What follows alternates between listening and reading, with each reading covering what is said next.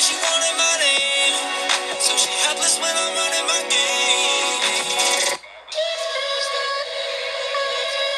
game.